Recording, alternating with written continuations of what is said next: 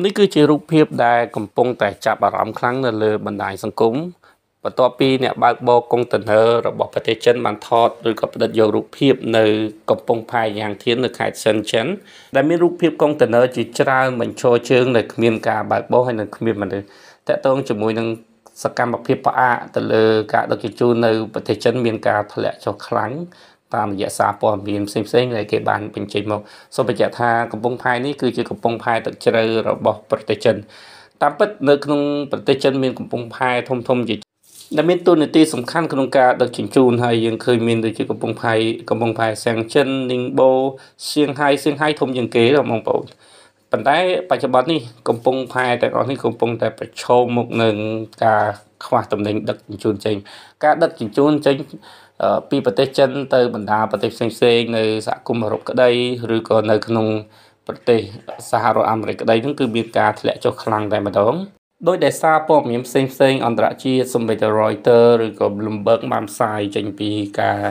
ពាណិជ្ជកម្មរបស់ប្រទេសចិនមានការធ្លាក់ចុះតើតើជាមួយនឹងការនាំចេញយ៉ាង ទោះបីជាបែបនេះក្តីក៏យើងឃើញថាសេដ្ឋកិច្ចរបស់ប្រទេសចិនក៏មានភាពប្រសើរគ្រាន់បើដែរបន្ទាប់ពីមានការបិទនៅ COVID-0 បើឲ្យមានអាជីវកម្មឬក៏ដំណើរការនៃប្រទេសឡើងវិញនឹងវាជាសញ្ញាណល្អរបស់ពិភពលោកទាំងមូលប្រសិនបើប្រទេសចិនជាពិសេសនៅតំបន់អាស៊ីរបស់យើងប្រសិនបើជាប្រទេសចិនហ្នឹងក៏មានសេដ្ឋកិច្ចល្អប្រសើរមកវិញដោយសារតែចិនចាយលុយនៅតំបន់អាស៊ី ជាច្រើនហើយកាលពីថ្ងៃប្រហោះយើងឃើញសម័យអង្គប្រជុំរបស់ប្រទេសចិន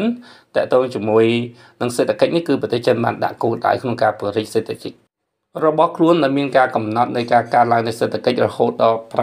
5%តាមរយៈការបង្រឹងការទូតសារថ្មីដោយមានការតែងតាំងនៃនាយកមន្ត្រីការរដ្ឋក្រសួងការបរទេសថ្មីផងដែរសូមសូមរំលឹកថាបច្ចុប្បន្ននេះតើតើជាមួយនឹង នយោបាយការទូតរបស់ប្រទេសចិននិងសហរដ្ឋអាមេរិកកំពុងតែមានភាពក្តៅកគុកហើយអ្វីដែលកាន់តែបារម្ភគឺប្រទេសសហរដ្ឋអាមេរិកនេះបានដាក់បញ្ចូលបន្ថែមនៅក្រុមហ៊ុនរហូតដល់37ក្រុមហ៊ុនរបស់ប្រទេសចិនចូលនៅក្នុងបញ្ជីខ្មៅទៅហើយយើងក៏មិនទាន់ដឹងថានឹងមានតតកម្មសេដ្ឋកិច្ចណាមួយផ្សេងទៀតទៅដល់ប្រទេសចិនទេ ចំណែករដ្ឋបាលរបស់លោកស៊ីជីនពីងហ្នឹងក៏ត្រៀមខ្លួនរួចជាស្រេចដែរដូចយើងឃើញថ្មីថ្មីហ្នឹងគឺគាត់បានប្រកាសឲ្យក្រុមហ៊ុនផលិតបន្ទះ chip ជាមួយនឹងបរិខាអគិសនីឬក៏ក្រុមហ៊ុនតាក់ទងជាមួយនឹងគ្រឿងវិទ្យាសាស្ត្រអេឡិចផ្សេងផ្សេង